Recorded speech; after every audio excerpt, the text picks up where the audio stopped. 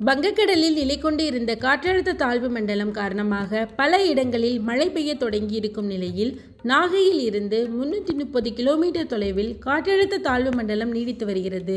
கடந்த ஆறு மணி நேரமாக எட்டு கிலோமீட்டர் வேகத்தில் காற்றழுத்த தாழ்வு மண்டலம் நகர்ந்து வருகிறது.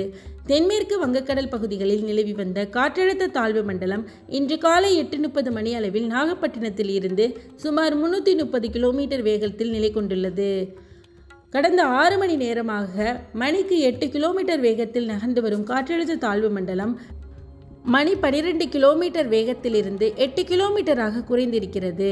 இந்த காற்றழுத்த தாழ்வு மண்டலம் தென்மேற்கு திசையில் நகர்ந்து சென்று இன்று நண்பகல் இலங்கை கடலோர பகுதிக்கு அருகில் நிலவும் என்று தெரிவிக்கப்பட்டுள்ளது.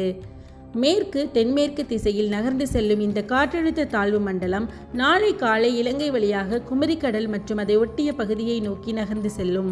இதன் காரணமாக தமிழ்நாட்டை ஒட்டிய தென்மேற்கு வங்கக்கடலில் நாளை காலை வரை கடல் சீற்றத்துடன் காணப்படும் என்றும் வானிலை மையம் தெரிவித்துள்ளது.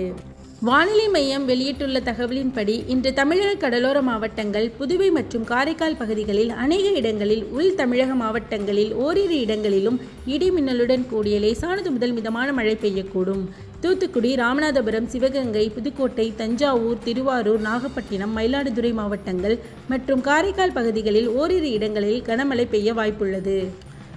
நாளை தென் தமிழக மாவட்டங்களில் அநேக இடங்களில் வட தமிழக மாவட்டங்களில் புதுவை மற்றும் காரைக்கால் பகுதிகளில் ஓரிரு இடங்களில் இடிமின்னலுடன் கூடிய லேசானது முதல் மிதமான மழை பெய்யக்கூடும்.